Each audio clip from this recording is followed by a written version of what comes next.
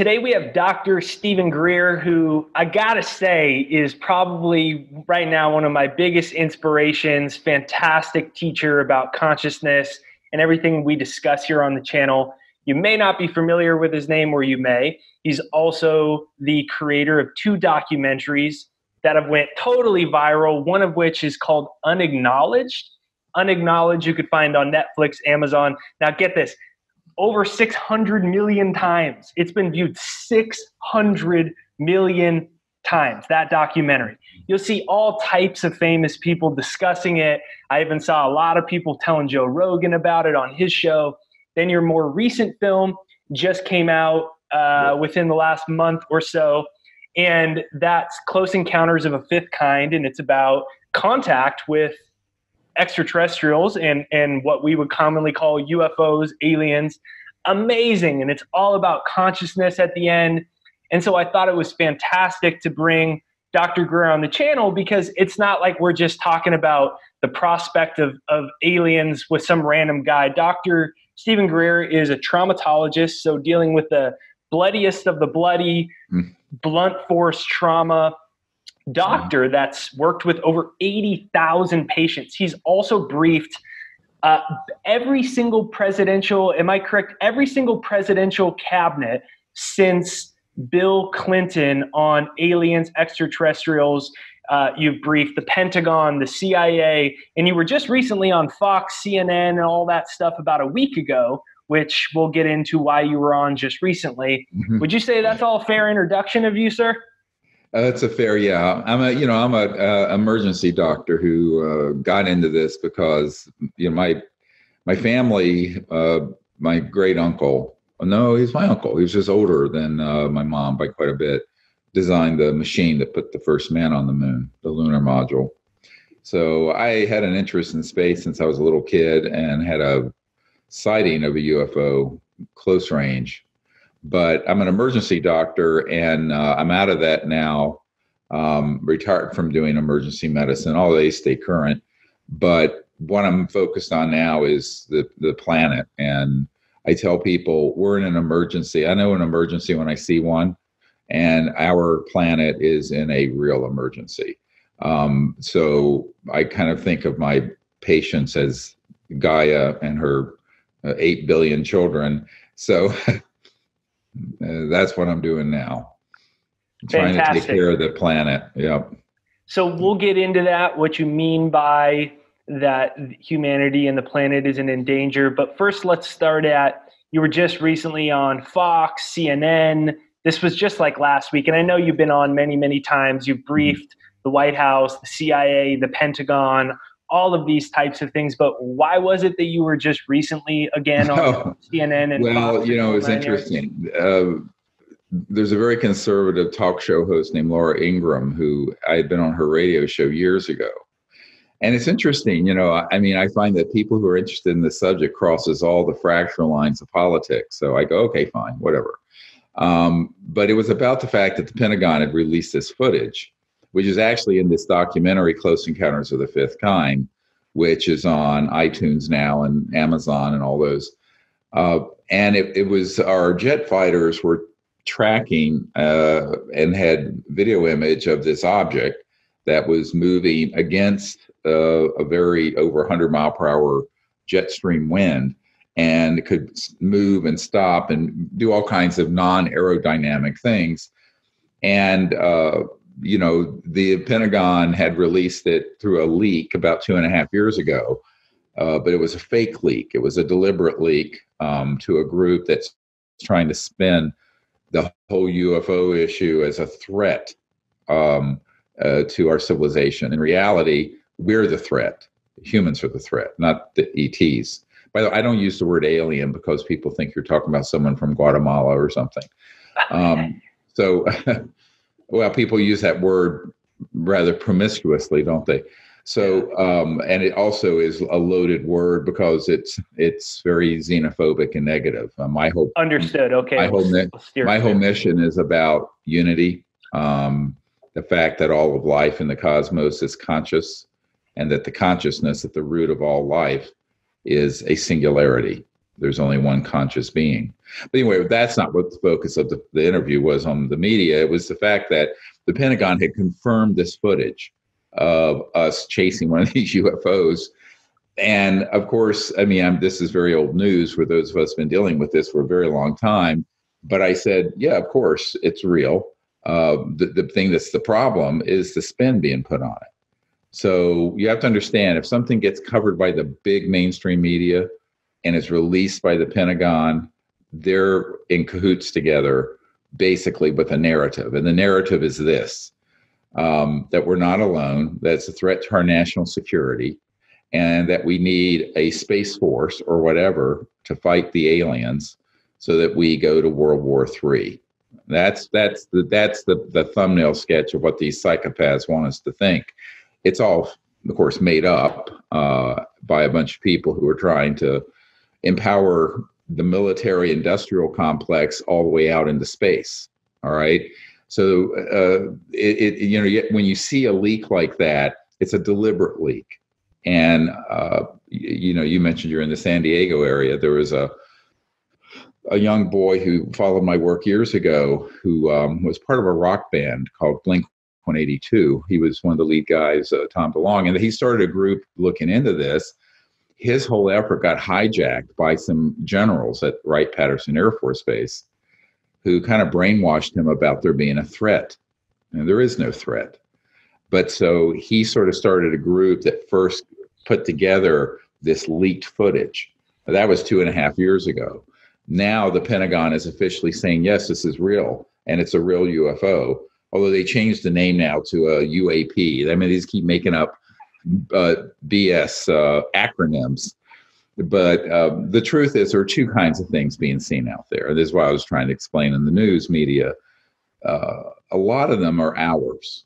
Uh, they're classified anti gravity devices that my uncle's company, Northrop Grumman, worked on, Lockheed Martin worked on. There in San Diego, you have in La Jolla Science Applications International Corporation. These are big contractors with the US government that have projects dealing with so called anti gravity propulsion energy systems. Now, the ones that are that, that's in that footage from the Pentagon, I can't prove whether it was one of ours or not. It very well could have been because a jet pilot would not have been cleared to the level of secrecy to know that those things even exist in our air air force.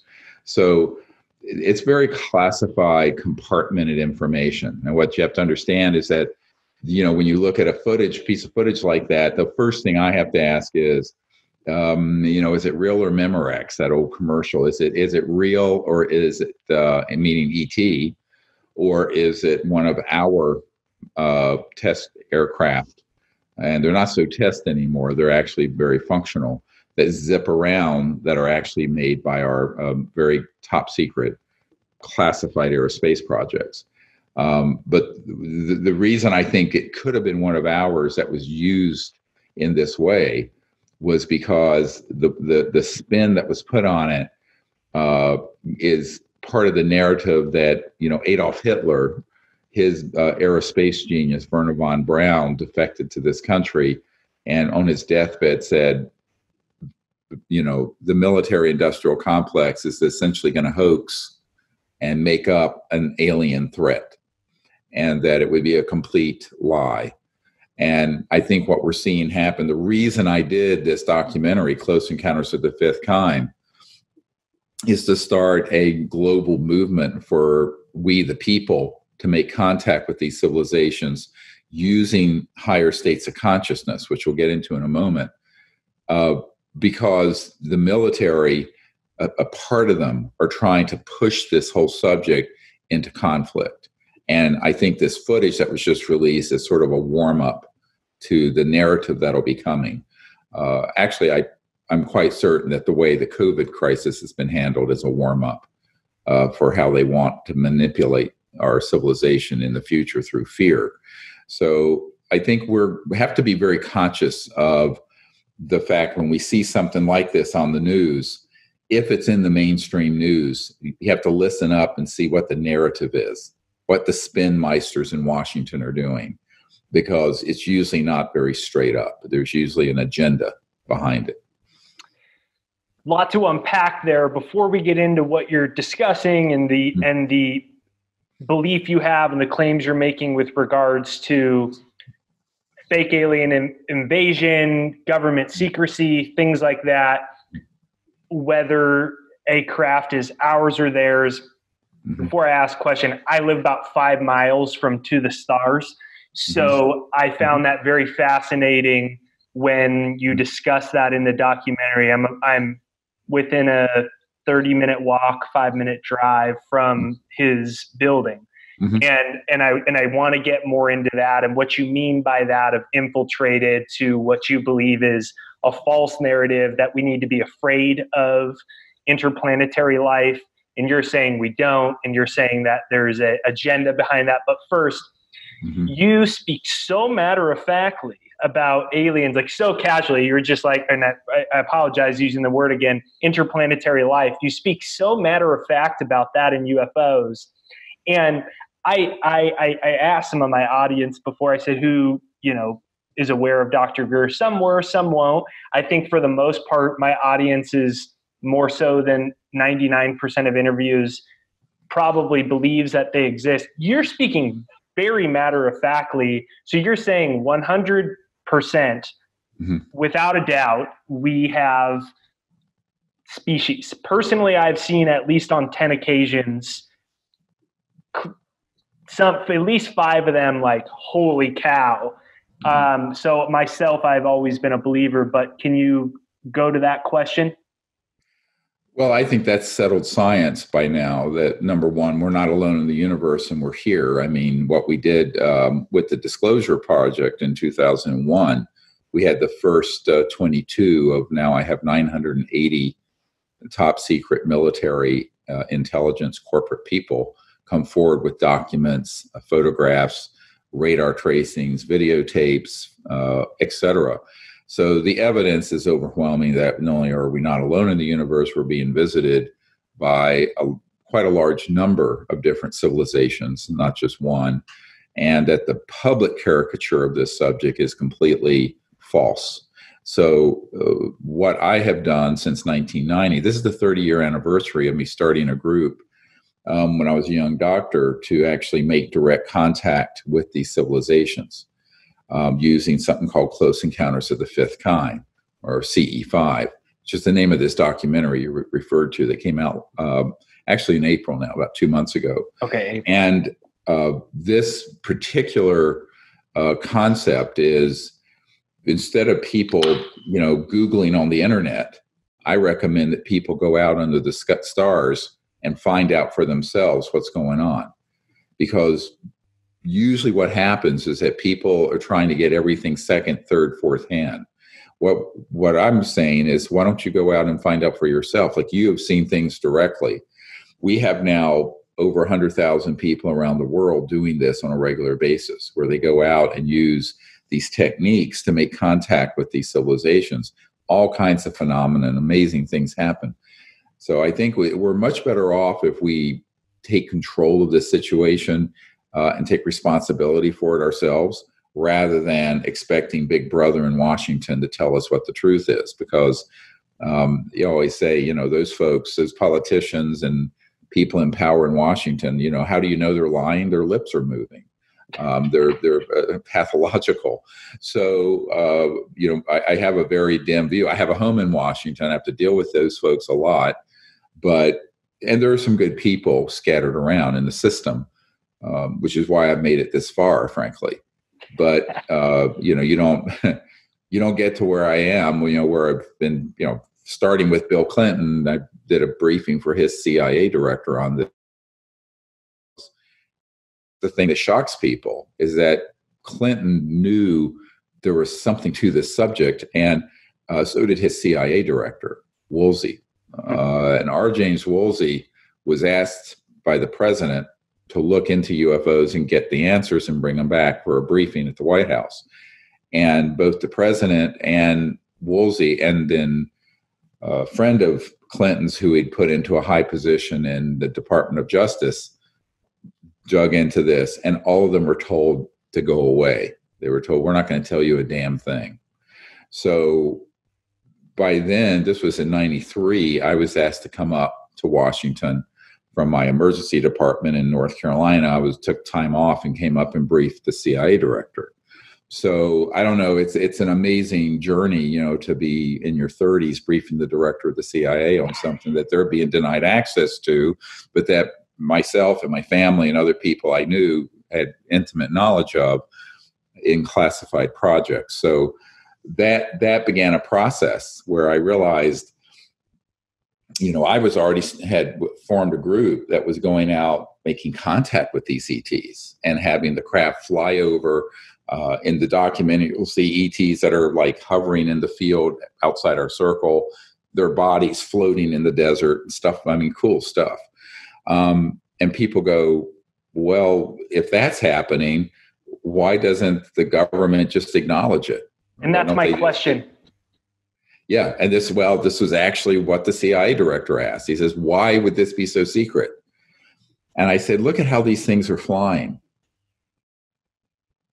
They're not using oil. They're not using rockets. They're not using jets. They're not using coal. They're not using a nuclear power plant. They're not using uranium. They're not using they're not using any of the crap that we're using that's destroying the biosphere.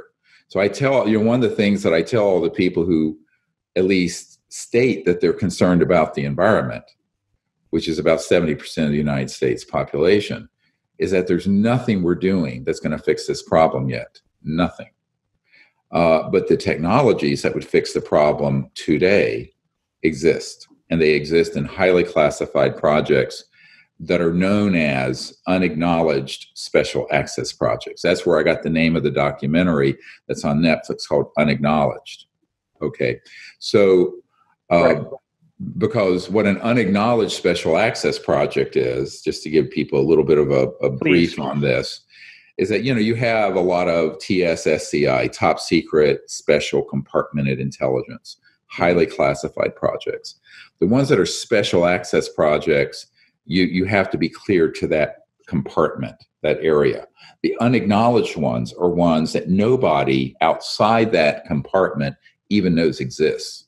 That includes the president the chairman of the joint chiefs of staff. If if they don't want someone to know about it that is hermetically sealed. The entire ufo subject is managed through a various interconnected group of unacknowledged special access projects and so my task over the last 30 years has been to penetrate many of those projects, get intelligence, documents, people, whistleblowers from inside those projects, and bring the information out to the public. Now, that wasn't what I initially started to do. You know, I started on this path just wanting to teach people, uh, and we'll get into this in a moment, the meditation techniques that enable people to see remote places in space make contact with these civilizations and vector or guide them into where you're located. That's what a close encounter of the fifth kind is. And I had stumbled across this as a young boy, a young man. Uh, but ultimately, because this is what a lot of people don't know about my story, because I started a very early experiment with this in, in Florida on the beach near Pensacola. So I go down there in 92, and there are like 60 people that I'm just doing a sort of a workshop for on a weekend. And that night, that night we go out, I think it was a Saturday night in March of 92. We go out and we set up the our group and we're on the right by the ocean at a state park. And uh, it, you know, we start doing the meditation and I'm training people to remote view, use consciousness to see where these ET craft may be. And then when they get a sense of one intuitively, guide them in by showing them like zooming into Earth from wherever you saw them, whether it was in our solar system or another galaxy or underneath the ocean near us. Well, a few minutes later, four of these ET craft go point, point, point, pop, just materialize right in the sky, like right there and no one had a very we had the old high eight camera back then but we got some footage of it. The footage you see of the boy going holy damn hot shit. Yeah. it's hilarious. That's a, a wayne uh, it was a guy on our team uh, that should young, be a meme. Yeah holy damn well because it's they're hovering right there. Yeah, and uh, and of course, some people went, uh, this shit really works. I said, yeah, of course it works. This is what every Dalai Lama has known and every Vedic master has known. Everyone knows this. Every shaman in Native America, my, my grandmother was Cherokee, Native American. Everybody knows this, uh, except, you know, really clueless people in the West who, you know, think, you know, everything is in a straight line. Um, but uh, so so I'm going, dude, of course, I mean, this works. But I said, you got to be prepared for when it works. So here they come. Yeah. So, well, this, you know, unfortunately or unfortunately, that event that someone took a photograph of this and it ends up on the front page of the Pensacola paper. Uh, and so after that, you know, the entire intelligence community, people from the CIA, uh, Pentagon, military intelligence come after me with a hard on and they're going, you know, they're going, what the hell are you doing? Because this, at that point, bang, it, they go, damn, dude, you know, and he, they realized that we had uh, uncovered the Rosetta Stone of interstellar communication.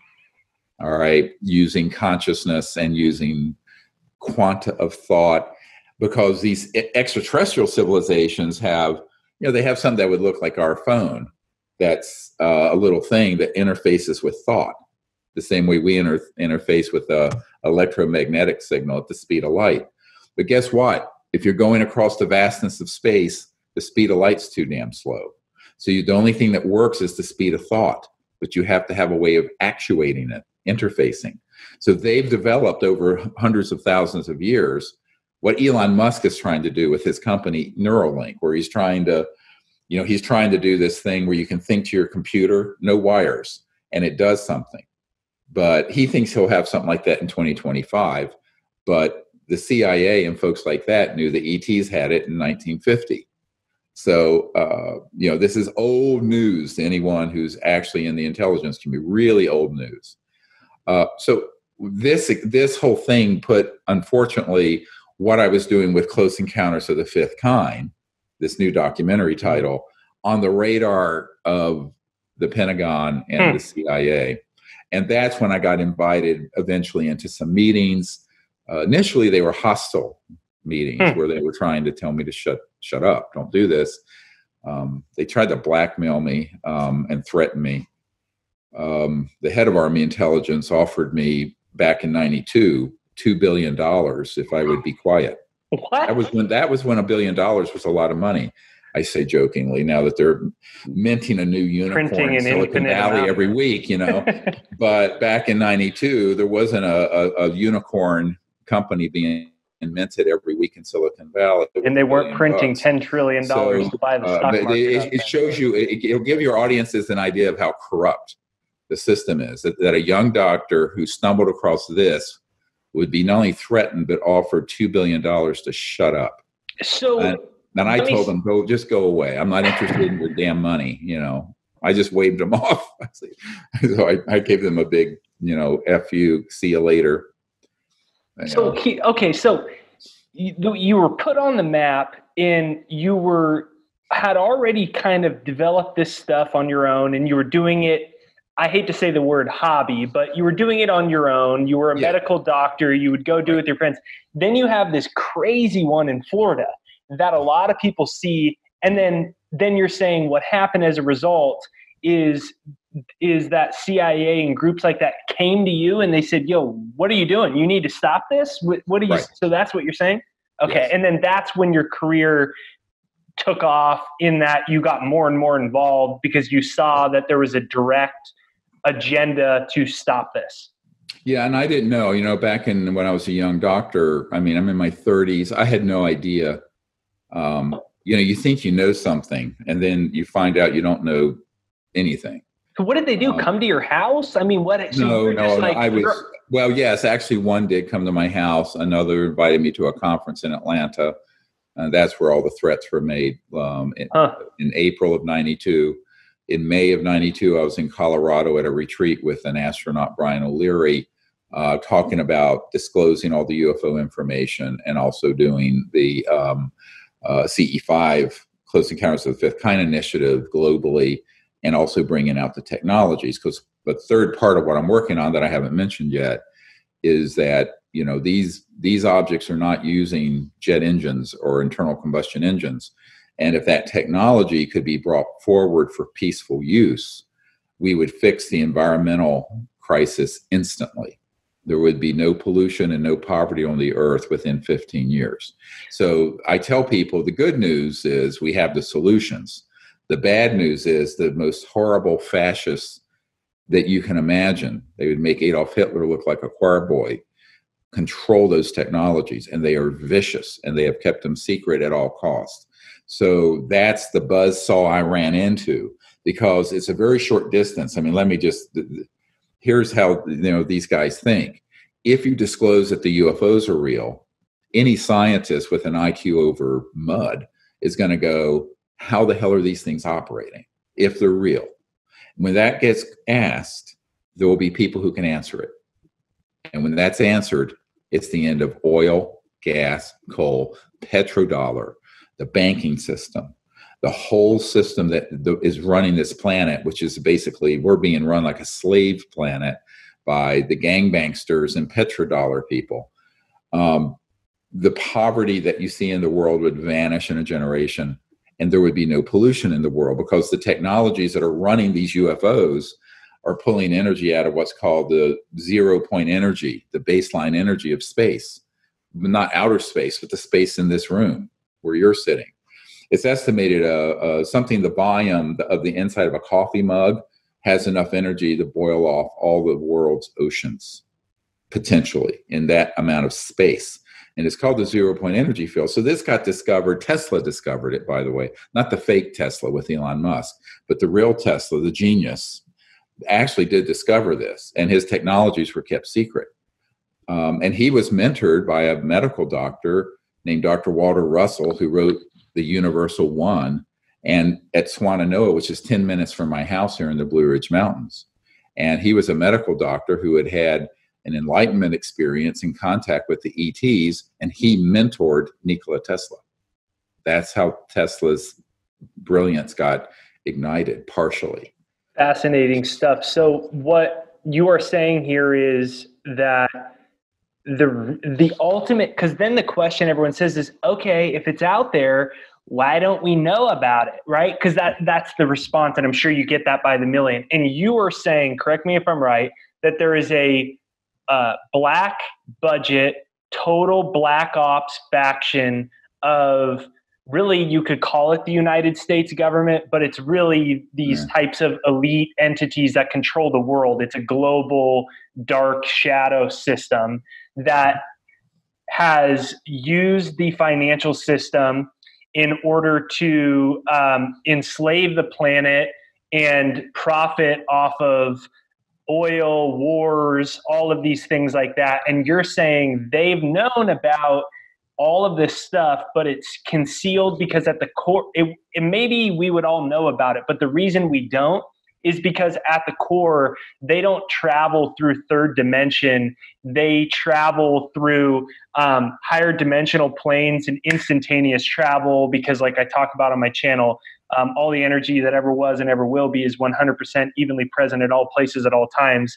And they're traveling through, um, as you call it, the quanta of thought um, through consciousness and they're using when they're here in third dimension they are harnessing essentially like what you would think like an anti-gravity device or a free energy system in order for those UFOs to run they run off a free energy system and that's the thing that can't be released and that's why everything's hidden to begin with is that accurate that's part of the reason. Okay. Part of it is that um, the whole existence of life elsewhere would upend, you know, the, the, weird Orthodox religious people who think the world's 6,000 years old.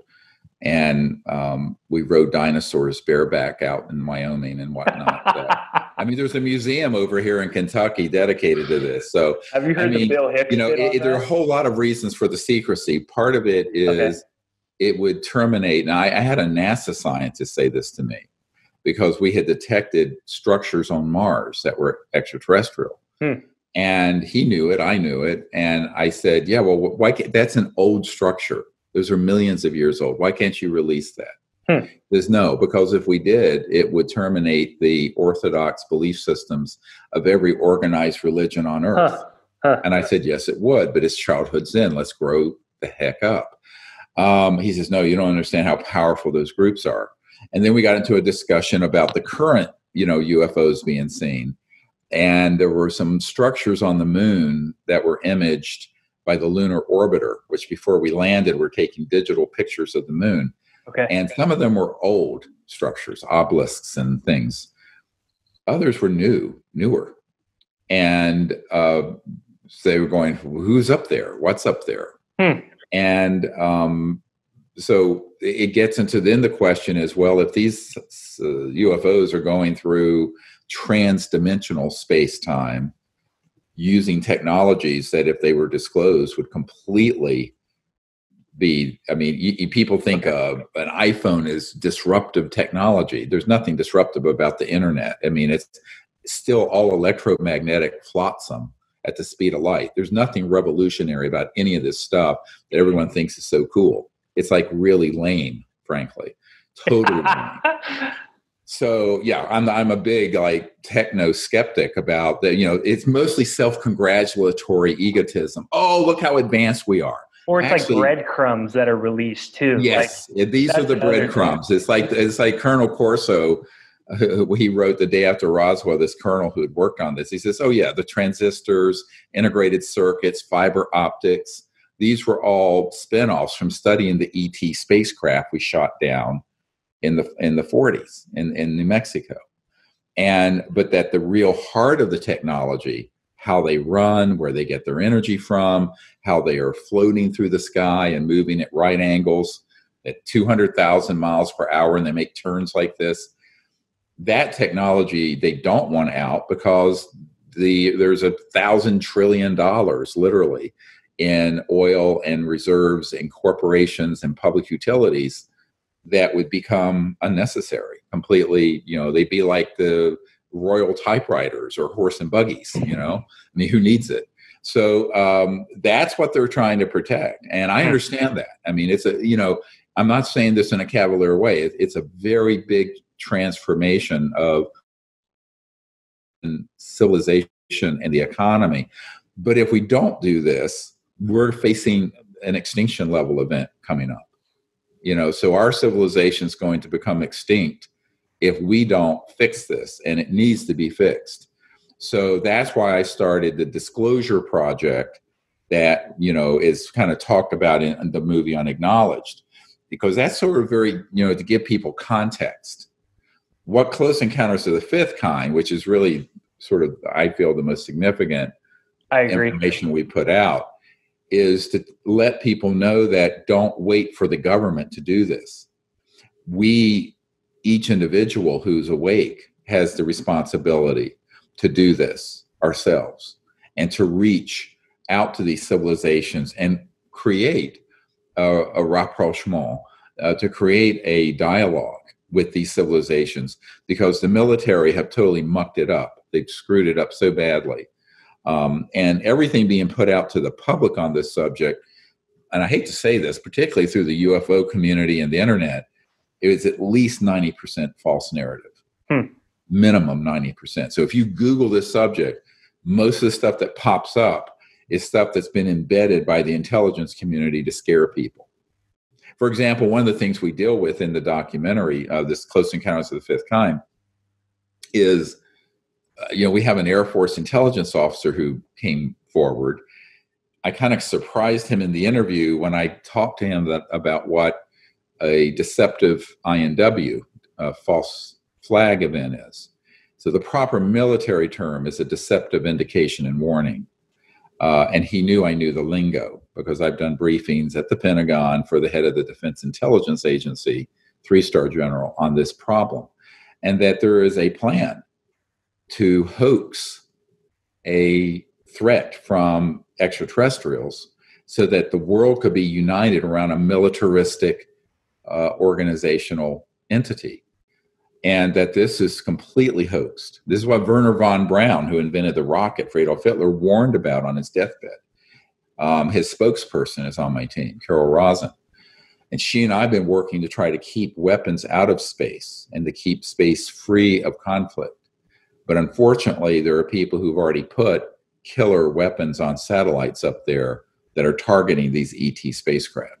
So it's already reached the point of, of an enormously dangerous situation. So the only solution to that, as I see it, isn't going to be from whatever president is coming. Look, I've, I've dealt with every president since Clinton. Clinton, Bush, Obama, Trump. As soon as Trump got nominated, I put a briefing together for him that was put into his hands. Hmm. I didn't put it to his hands. A member of my team did. Okay. Uh, but the point I'm making is I don't see that those guys have the, no offense to the presidency, the presidency's pretty much been castrated. Um, it does not have the control over. Elaborate. Yeah. It, it Elaborate. What What do you mean? Because somebody thinks the president, like, dude, you are the no, president, and no. you're saying that's not at all, and it's really more of a figurehead, and there's other operations that are people there, are there forever. There are people, yeah, there's people so much more powerful than the president. Um, that's sort of a urban myth that the presidency has an all access pass. Uh, you know, I'll get well. The example I gave you when when Clinton was trying to find out about the UFO issue, and he was basically told, "We're not going to tell you anything." They just brushed him aside. So you would think, you know, that's an act of treason, which it is according to the Constitution. But these are people who are running illegal projects, and if they're breaking the law, they don't care if they break the Constitution. I mean, these little niceties that we think of that are what the foundational uh, law of our society. I mean, people who are fundamentally sociopaths and criminals, they don't give a damn about that. So, unfortunately, the people who run these uh, unacknowledged special access projects are criminals. They are illegally run projects using black budget money, um, and they really could care less what the president thinks.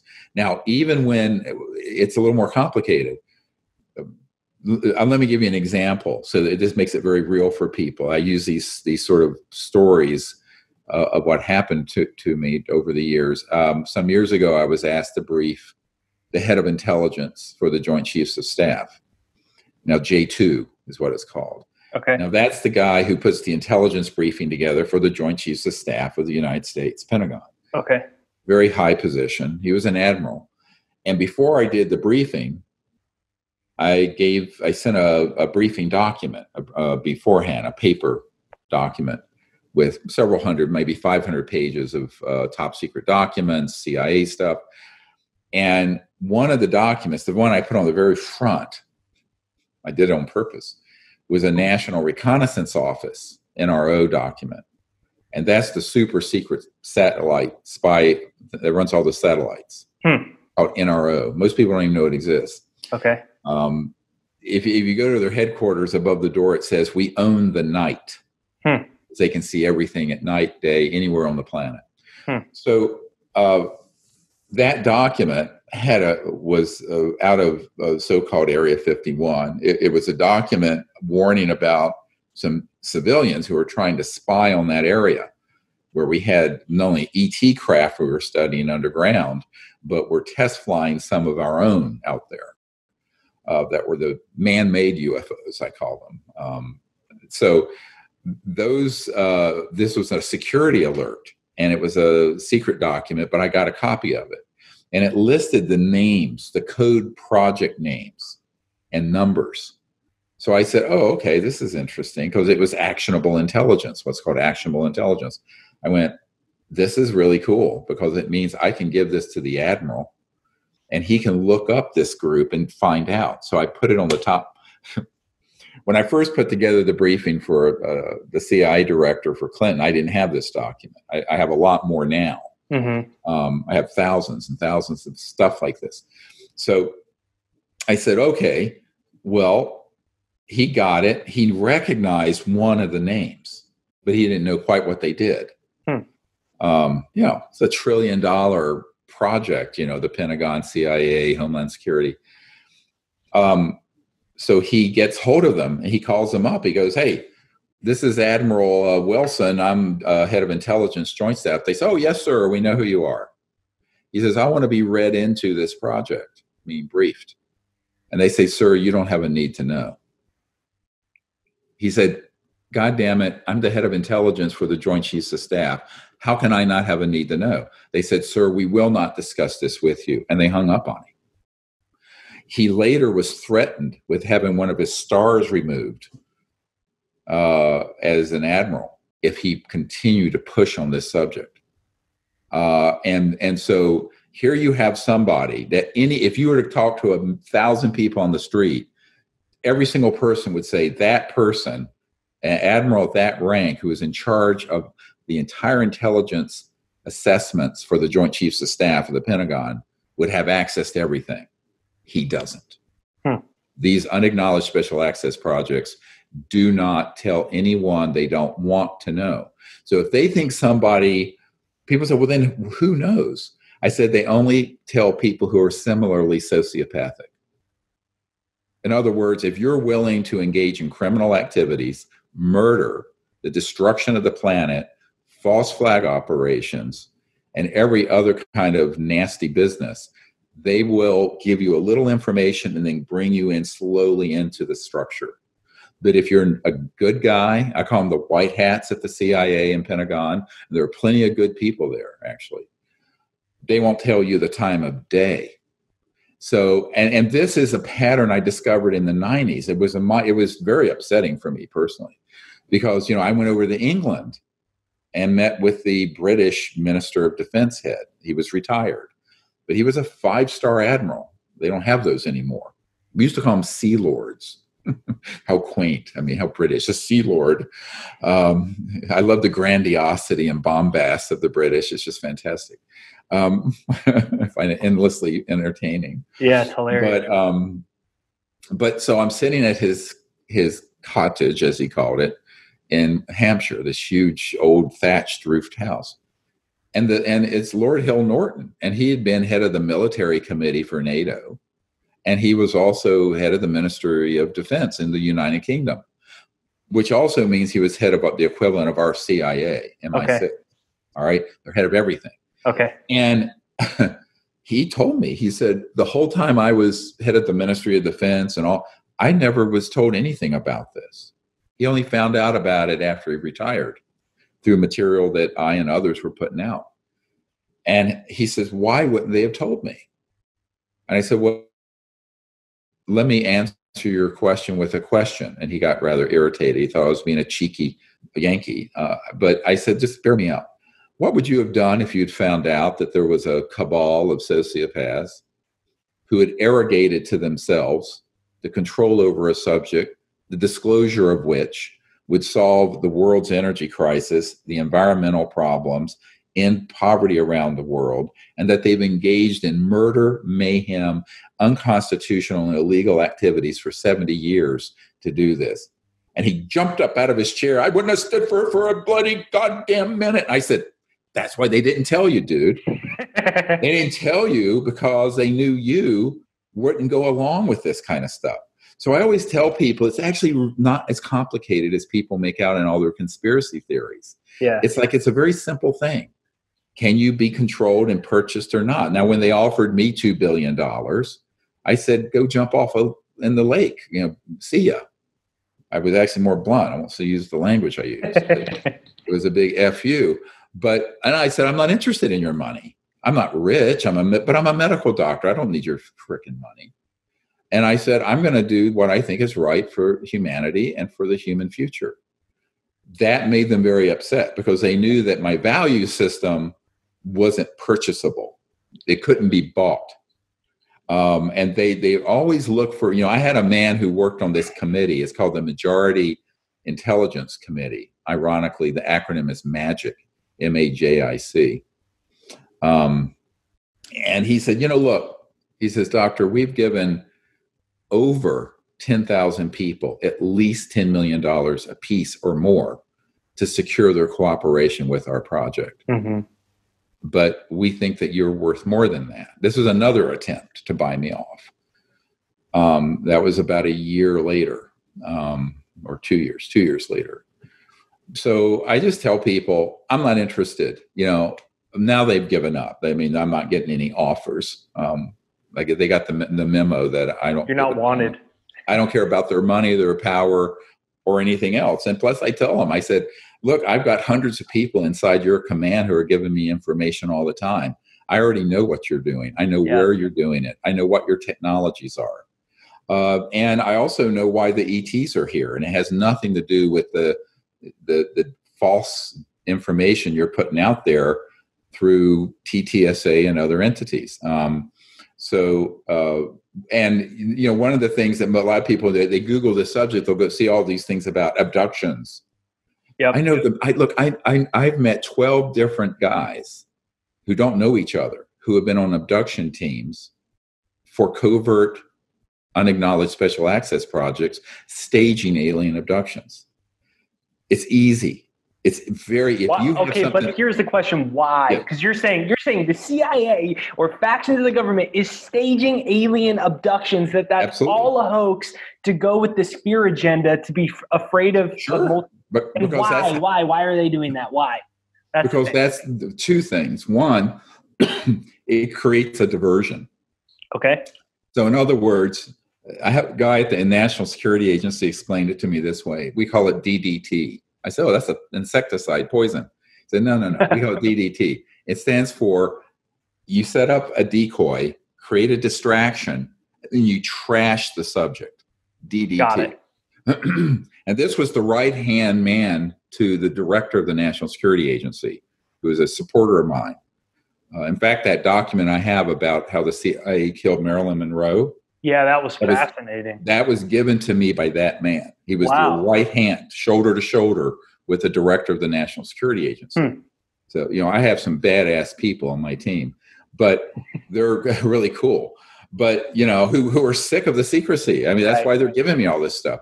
But the point I'm making is, is that if you if you can make people think this it's sort of like the Wizard of Oz. Did you ever see that old old yep. movie called The Wizard? And there's the old crudmudgeon behind the curtains pulling the lever, scaring yep. the hell out of Dorothy. That's what these guys are. So they want to set up a, a, a sort of a, a circus through the UFO subculture and TTSA and all these other groups to say, hey, there's a threat from outer space and they're doing cattle mutilations and abductions I know the guys who've been doing those, literally. I mean, I personally know them, uh, a number of them. So, and then, you know, if you look at this new documentary, we have this Air Force intelligence guy who, who worked on the UFO subject for over a decade uh, out of Kirtland Air Force Base, who states point blank, he says, Oh, yeah, we did that. When I asked him, Is the military staging these abductions? So now there are people who've had contact with ETs and there are people who've had these other experiences, and the intelligence community is happy to let everyone think it's all the same. They want everything mixed together in people's minds. Why? Because then people go, well, there are the good ETs and then there are the bad ones. And the hmm. good ones are you if you look at the narrative, you know, now that we're in Black Lives Matter going on, let me tell you what's going on with this. This is interstellar racism. They want everyone to think, okay, if if it's an ET civilization that looks like they're from Sweden, blonde hair, white skinned, the women have nice breasts. Those are the good ETs. The bad ETs are short, they have funny looking noses. It's just racism. I mean, let's call it out for what it is. It's interplanetary racism. Hmm. So what the, what these guys are very good at doing is manipulating human psychology and hmm. social engineering, where they will go, ah, let's create another boogeyman, something for people to be afraid of. And let's do this in a way so that people are really scared of everything alien that goes bump in the night, because that'll keep people uh, prepared for when we pull this, pull the button, push the button, and hoax an alien attack, hmm. which is what they're planning to do. So you really think that's going to happen? You really I, I think, think they're actually going to hoax an alien invasion and we're going to see that in our lifetime? I think it can be done any day they wish. And I think it will happen unless enough people wake up that it's a hoax. So, in other words, that what I'm doing is preventative medicine. I'm trying to I'm trying to tell people you need to be aware of this possibility so we're not like the, the old Who song, we won't be fooled again. That was about the Vietnam War. Well, guess what? We were fooled again. Yeah. When we after 9-11 we went into Iraq. We're being fooled again with how we're how the whole COVID thing is being managed. So people are getting fooled over and over again, and they do it through fear. Remember, fear shuts down spirit. Fear shuts down intellect. Uh, fear shuts down higher conscious capabilities. And so there's a big part of the, this uh, agenda that is about creating the specter of a threat. And that's that is the fear of of of ETs and aliens is a big part of their agenda for the last 70 years. And they've done a very good job of it because if you look at most Hollywood movies and most things on this subject, it's all very terrifying. When in reality, what's terrifying is these corrupt people behind the curtain, you know, pulling the lever, scaring the hell out of the public because they have an agenda. How do you grow? How do the warmongers grow the military industrial complex? You know, as, as the CIA director for Obama said, look, we're spending $110 billion a year chasing 70 Al Qaeda members around the desert in Afghanistan. 70, 70. Um, and so at a By certain fear, point, because you just scare the mm. crap out of everyone to justify the the the expenditure and the amount of money printing. Yeah, but how do you grow that industry unless you oh. have another bigger enemy? Okay, understood. Okay, all right. So you need a bigger enemy because no one's going to stand for another Middle Eastern war. So you need to get another enemy because you can't say now we're going to go to Kuwait. You know, because well, there, there, could there could be another couple of intermediate steps, but okay. to be honest with you, the the big one that their their trump card is playing the alien threat. And this has been known by people in the intelligence community. I've had multiple people who've been involved in the planning sessions for this. Huh, interesting. So I think this is why Close Encounters of the Fifth Kind is so important. Yep. It's going to the public saying, you have this whole screwed up situation. I doubt we're going to have a president or a Congress that's going to resolve this because they'll get killed, right? I mean, JF. I've told my audience, and I played clips of JFK talking about his. I played the actual clip of his speech on secrecy and secret societies and a monolithic conspiracy that controls it all. Eisenhower warning everybody about a rogue faction of the military-industrial complex. Right. So what you're saying here, your intention, right? We talk a lot about intention on my channel right. and purpose behind right. it. You're not just doing a sci-fi conversation because it's cool. You're you feel a deep sense of purpose and spiritual mission to release this um, because people need to be aware of it. There is a prospect of them false flagging an alien invasion to um, unite potentially a one world government and a and a global militarized state, and to right. continue to preserve the um, the oil hegemony of the world and all of these types of things. And you're saying, look, this might be happening. And for us to advance as a human civilization, as a human species, um, to truly advance, we must become aware of the power of consciousness and we must make our own discoveries of that we aren't alone in the universe and that there are further advances that we can make in technology, free energy systems, et cetera, et cetera. So it's a spiritual purpose. You're doing this for a reason, not just like, hey, this is cool, right? Well, and the, the ultimate reason is that we have to move our civilization onto the next level of its spiritual evolution. And that can't happen if you know half the world is starving or half the world is impoverished. So it's all part and parcel. A lot of people want to divide this up into different, you know, partial solutions, and you have to have a holistic solution. But at the root of it is a spiritual problem because, um, you know, one of the things we we pivot to from this sort of discussion that's in the early part of this film, Close Encounters of the Fifth Kind, to the solution. Right. And we talk about quantum physics and the studies that have been done that show that consciousness isn't limited to space and time. Uh, that actually the mind, the, the, and, and everyone makes this too abstract, but I always tell people just think about the fact that you're hearing my voice or your voice have sun coming in right here. Yeah. No, um, and it's it's one of these things where uh, when you have people considering what consciousness is, they usually get trapped into what they are conscious of or a technique or what have you. I'm talking about the faculty of being awake, aware of awareness, the aware state. That state of consciousness that enables you to hear my voice and me to see you and all your listeners to hear this, that is a singularity. There's one consciousness in the cosmos. This has been proven in physics, by the way.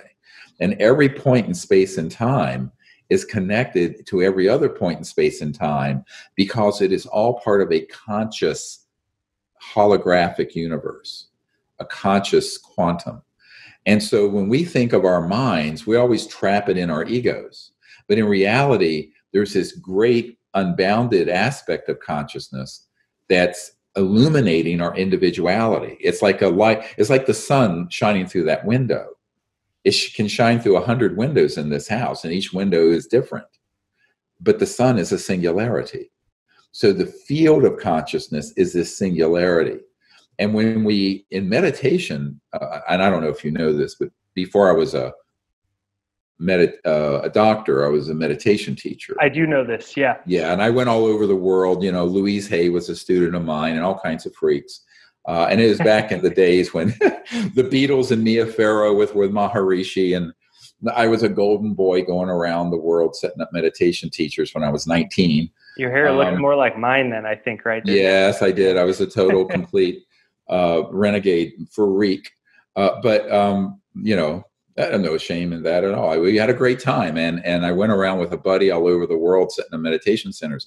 But what I learned, I became a, a, a student of the ancient Sanskrit and the Vedas, and both the Buddhist and and the Sanskrit um, origins in the ancient Vedas and um, Vedanta, and began to study consciousness and the experience. So I spent, I had a couple years where I spent eight hours a day in meditation and had all kinds of extraordinary uh, experiences.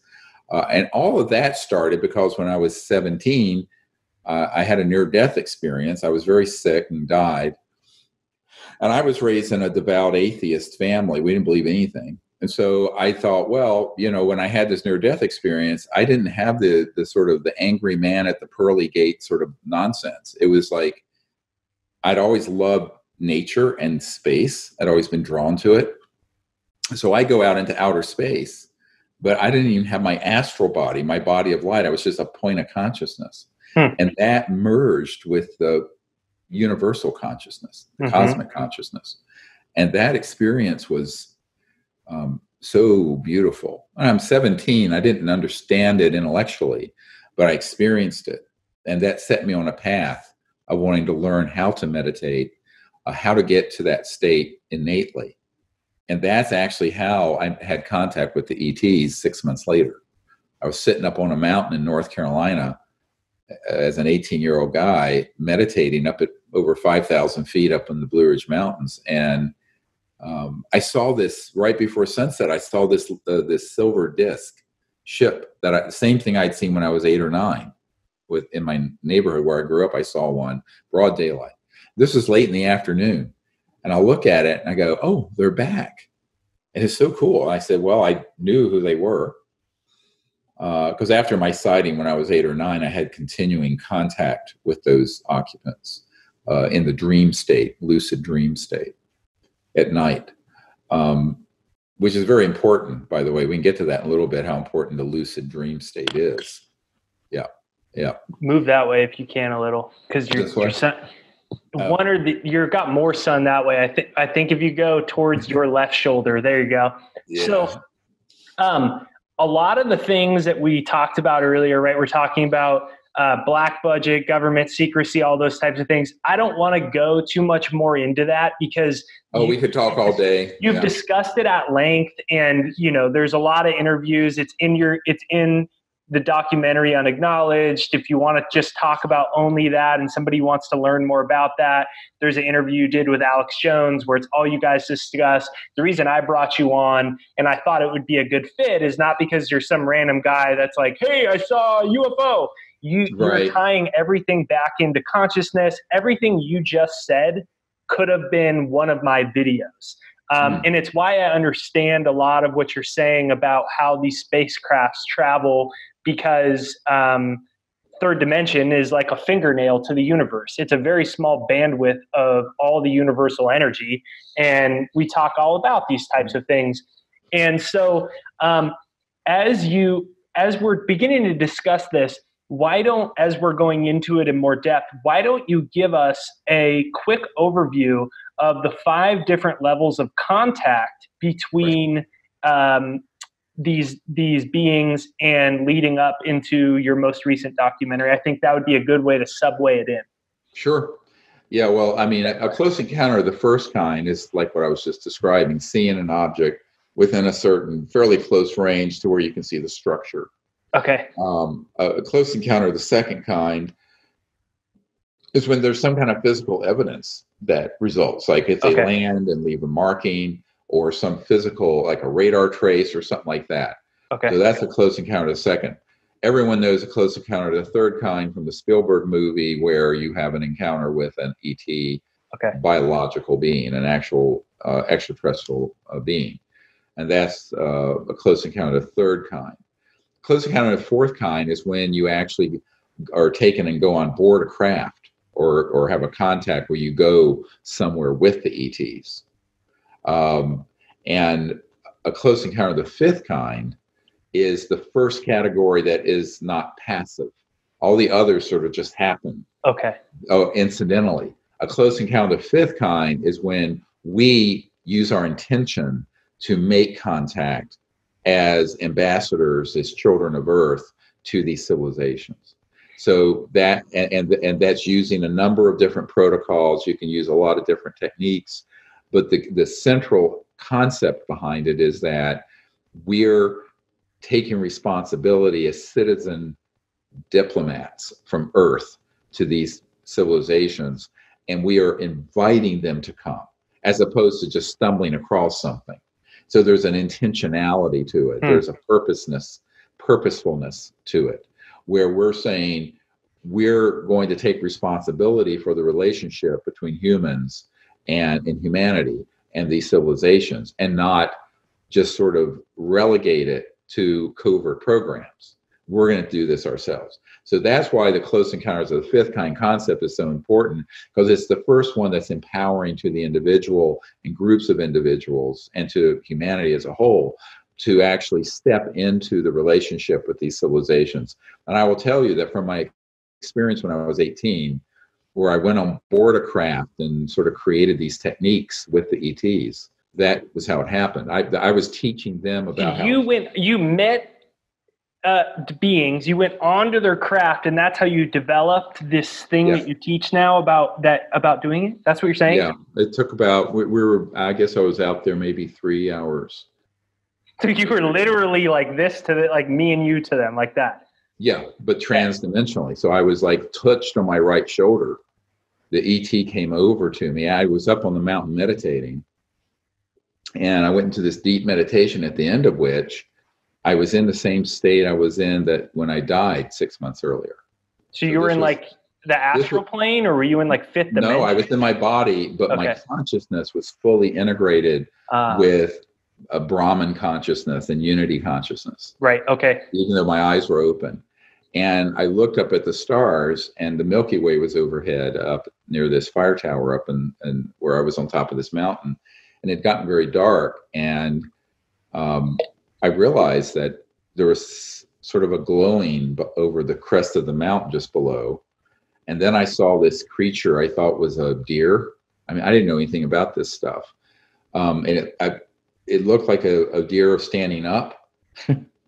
on all two legs, but had these beautiful eyes and touched me on my right shoulder. And I was wearing a ski jacket because it was very cold up there. It was October of 1973. So this was, um, you know, 47 years ago. And this touched me on my right shoulder, and all my hair stood on end. And I had a lot more hair then. And um, and I just sort of teleported, boom, went point to point onto the craft. And then I stayed in that trans-dimensional state for three or four hours, meditating and teaching the ETs about what it's like for a, a, young man on Earth to experience cosmic consciousness and hmm. how that can be used to make contact in the future. And so this went on for a long time. And then um, I came back maybe a quarter of a mile down this gravel road that went up to the top of this mountain. Uh, I didn't I didn't come back where I left from. I came back further down that road. Um, and I thought maybe it had been 20 minutes, but it had been like three or four hours. Wow. Um, yeah, because there's no the time, the sense of time and space is different in that dimension. Um, and um, I sort of had this strange uh, anti gravity field around me. So I, you know how you see them leaping on the moon, like yeah, like I had no gravity. So I had this sort of, I was almost like quasi levitating down the mountain, where I each I could just bound and go 20, 30 feet. It was hmm. like really cool. Um, but that wore off by the time I got down to this little town where I was living wow. up in the mountains of North Carolina, um, up in Boone, North Carolina. There was a school up there, Appalachian State University, I was going to. And um, I thought, well, this is really interesting. I didn't know what I was going to do with this, but I started practicing the techniques that I was that we had sort of jointly developed because it had to be joint because they had to understand how humans would do this. So I started this whole thing where every night I'd start, I'd, before I'd go to bed, I'd go into a deep meditation.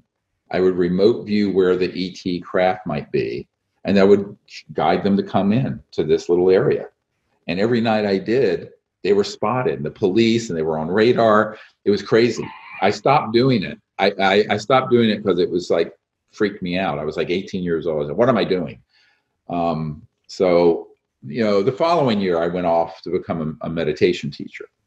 Um, so I sort of finished college when I was 19 and then went all over the world doing that. But it wasn't until the 1990, many years later, that I just started to do this as a formal effort. And that's because I was I had these ETs show up in my house three different nights in a row, uh, three months in a row, who gave me instruction about it. and this was in 1990. Jan- it was the full moon of January 1990, the full moon of February 1990, and the full moon of March 1990.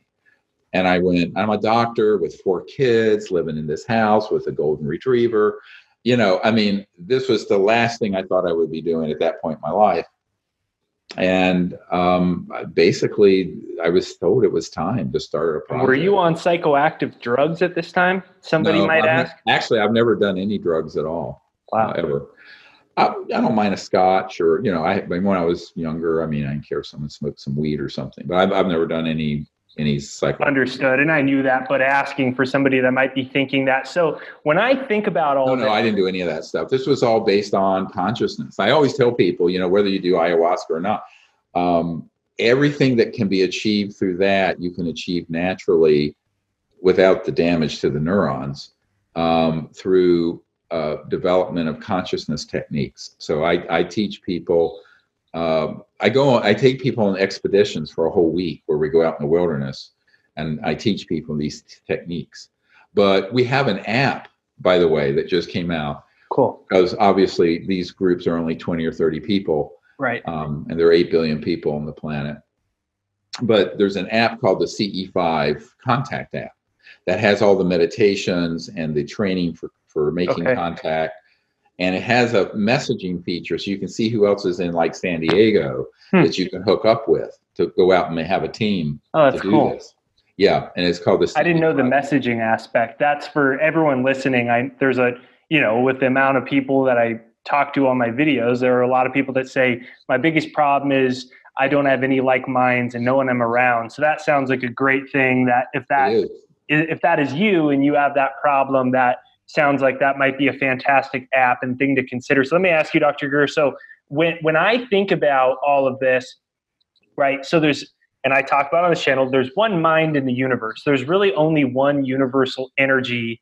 Um, and there's different frequencies of that consciousness or different vibratory rates of it. So really, a uh, extraterrestrial from the Andromeda galaxy is mm-hmm. really I'm actually one with it. It really isn't an extraterrestrial. It's really just a different frequency level of that universal energy. So because we're all hooked up to this universal consciousness, this is how the power of intention and the power of consciousness comes into play with your ability to contact them and thus have sightings and such? Exactly, because that was the experience I had was the experience of the universality of consciousness, which immediately it was quite clear to me that you know there's a saying in the Vedas, all this is that, hmm. meaning all that exists in the cosmos is this consciousness field resonating and phasing as a star system or a photon or your body or me, your individual soul or mine, uh, the wall behind you, it's all awake. And now that sounds very crazy until you Not have to my audience. Until you have the experience where you see it. But then what's cool is that science recently has reached the point where they're proving this is true.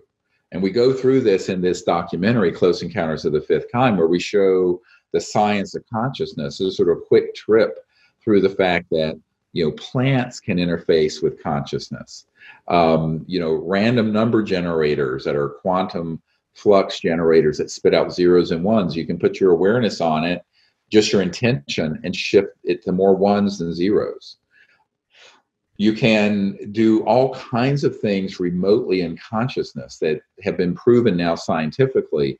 And of course, this is the stepchild of science because it runs against the grain of reductionism, where everything is just yeah. broken into parts and parts and parts in a very right. Newtonian model of physics where we're really looking at it like everything is solid matter and you know energy is this unexplainable magical phenomena side effect of it so my audience grasp all this right this is what we talk about but we talk about it i guess from a more uh, third dimensional perspective in that if you know all this and that consciousness is everything you could actually use it to uh, to create reality, to materialize and manifest things in your life.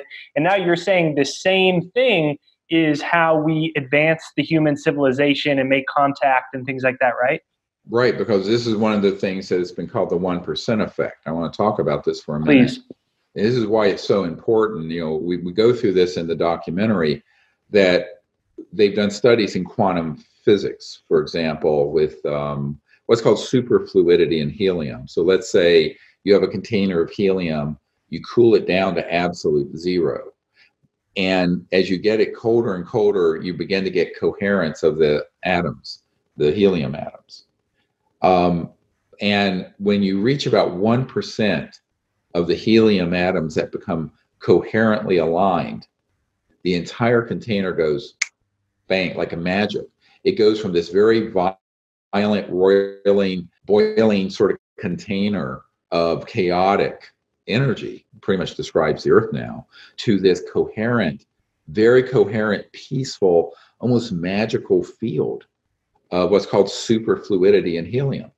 But it doesn't take 51%. This is not an election. It's 1%. So, so what's interesting is that they did a similar study with meditators, consciousness. And they would say, okay, there's a town of 20,000 people.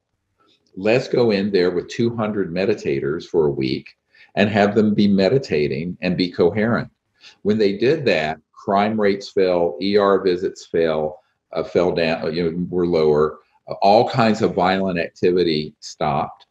Uh, and there was just increased coherence, even though the rest of the town didn't know those people were in town. They didn't know they were there at all. So there's this morphogenic field, it's called. There's this field effect from consciousness that is affected, but it seems to be very powerful at around that 1%. So, what I'm trying to do is to get 1% of the population. So, in America, say that'd be 3.3 million people to be doing group meditations, but with the intent of creating universal peace. So, not only peace on earth, but peace out in space. Because if we create world peace, but we trade world peace for interplanetary war, we're not going forward, we're going backward, which is what these guys are planning. They want to unite the world around a military junta and say, oh, we have world unity now. It's one world, but we're going to fight this star system. That's how insane these people are. So we're, that's not going forward. So 99% of the UFO subculture unfortunately, is really dedicated to putting out narratives that would run against that. So what we're trying to do is say, all right, what if 1% of us actually did something constructive and we would meditate together, go out under the stars, do this and the motto of the organization is one universe, one people. Mm. It's a it's a the concept is in the whole co- the entirety of the cosmos there's really only one people and we are they so the sense of oneness comes from not the fact that we're all homo sapiens you know monkeys that got upright and you know have a little more intelligence than a gorilla although nominally um, that you don't get me into my acerbic commentary about the human condition. but but the point I'm making is um, we're all one conscious being, and so we have more alike with these aliens. That's why I don't like to use the word. Yeah. Than it's dissimilar. So it depends on what you're focusing on. This is one of the problems we're having right now with with the sort of endless racism and tribalism of our society is that it isn't going to be fixed until we realize that deep within every single intelligent being, and in fact, within everything plant life, animals, the spirit of the earth, consciousness itself has manifested Gaia, and the earth is a conscious, she's female, by the way. She has a personality, but it's a female being who is conscious. And you can connect to the Gaia consciousness, the consciousness of the earth. I, I've done this out from being out in space. It's a magnificent experience. But until we realize that the the thing that's going to weave all of us together in a peaceful state of oneness isn't endless tribalism. You know, it's going to be infinite oneness.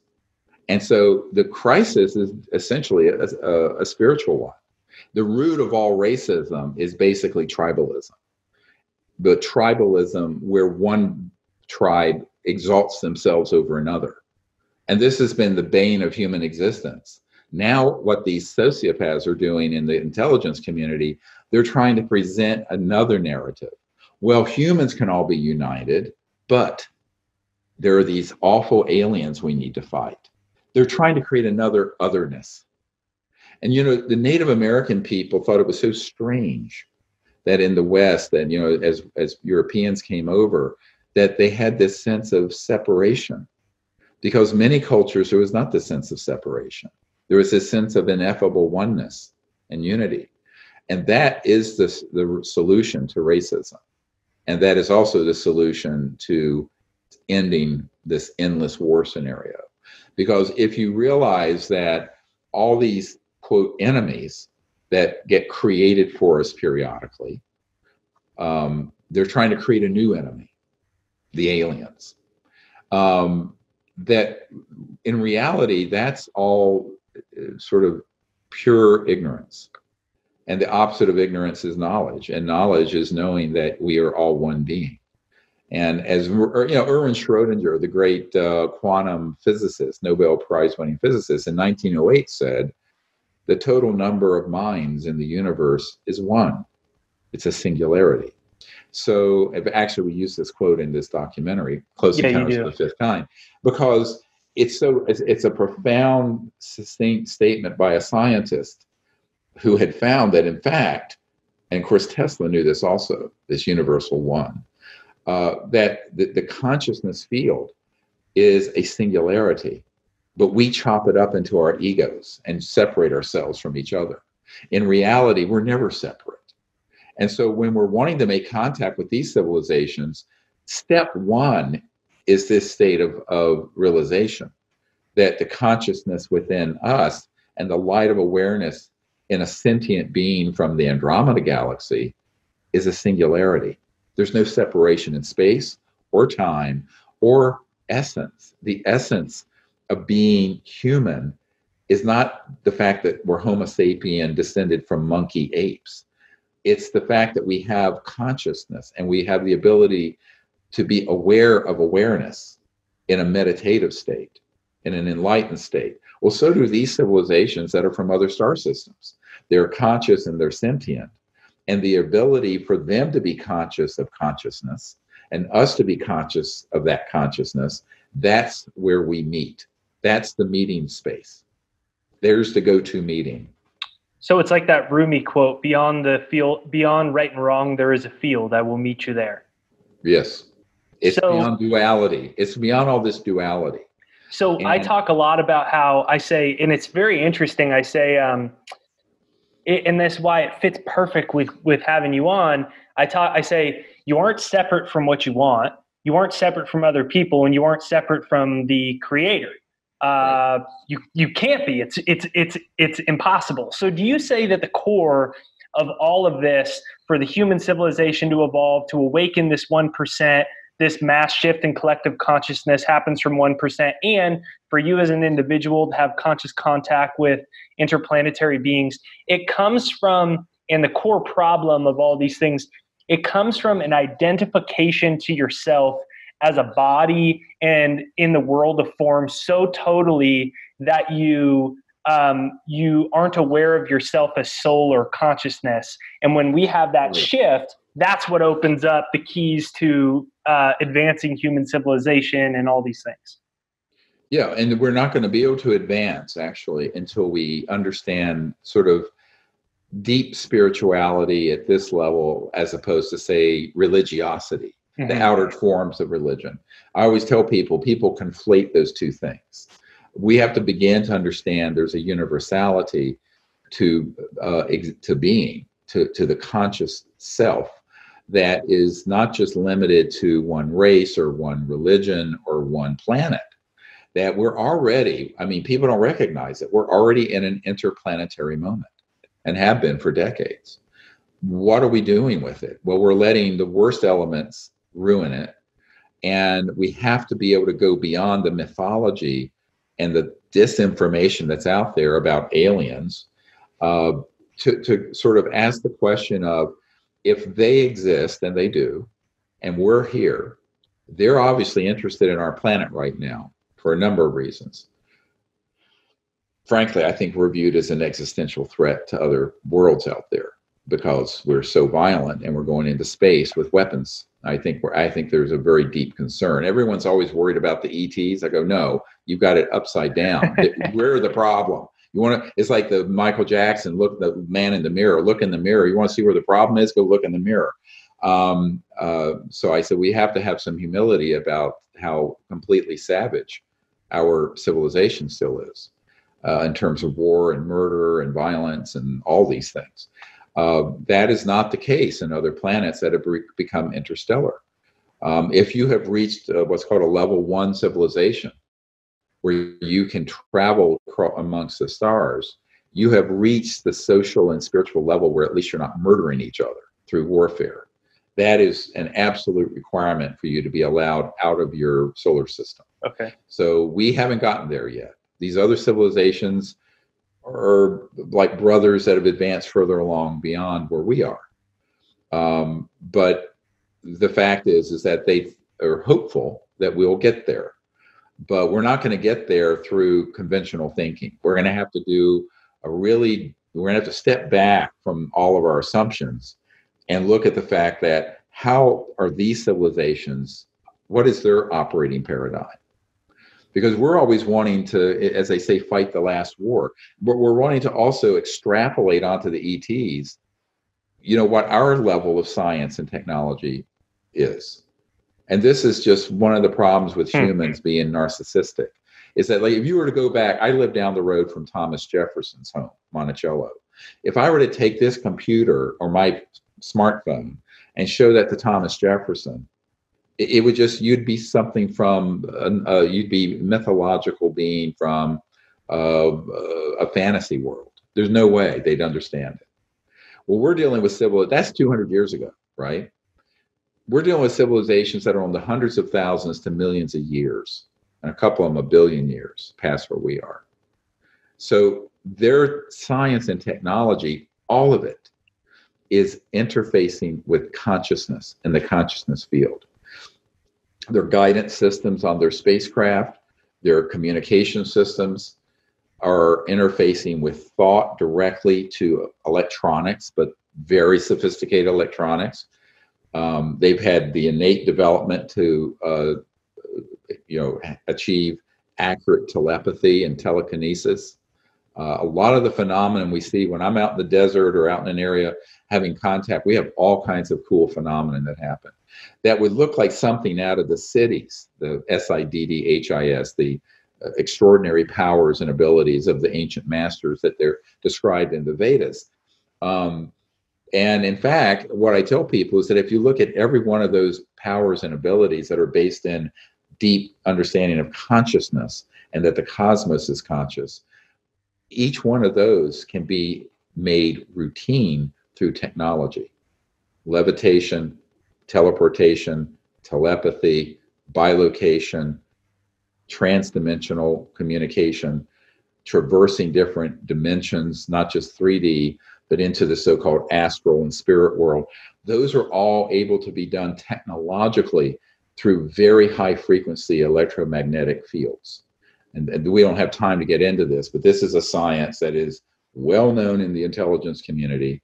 What we're doing under the stars with the Close Encounters of the Fifth Kind uh, project and the CE5 contact app takes you, you can take it out in the field with you, is to use our innate hardware and software that we're given as conscious beings, spirits, to learn how to make contact with these civilizations. But we need to always remember their, their technologies that they have are mind-blowingly advanced. I mean, just amazing stuff that we've seen. Uh, you know, when you look at this documentary, it's 0.01% of the archive. But we could, you know, you what are you going to do? You can only do so much in a two-hour, a two-hour film that you want to have millions. Our goal is to have at least 80 around 80 million people see this movie and then begin to practice this technique and form teams. The reason we did the CE5 contact app, if you go to the Google or iTunes store, you can get it. That that app actually enables you to be trained to do this, but also you can then, it, because it has a networking messaging capability, it will show you everyone in your area who's doing it. So you hmm. can hook up with them Eh, uh, you know, you can go out on the beach or go out under the stars and, you know, or if you are locked down because it's where you are is still locked down, you can do it remotely with people because remember consciousness it doesn't care about the distance there is no distance and that's important for everyone to understand and it's something we always talk about is that really time and space is is an illusion and consciousness is traveling instantaneously. And this is so important now for people to understand when you talk about the 1% is because that as we have this shift in our energy levels and our energy moves outside of the matrix of fear and control and our energy raises and we uh, recognize our true identity as soul rather than body. Our consciousness raises. And that is all sending off a different frequency level to the collective consciousness that other people that might be not awake yet can subconsciously tap into. And that's the type of awakening that you're discussing. Is that is that correct? Yeah well actually it, it, the, the when enough people start doing it it spontaneously moves others along. Hmm. That's the whole 1% effect. This is what's so interesting about this is that everyone again we have to transcend go beyond this idea of separation that's so part of our western culture.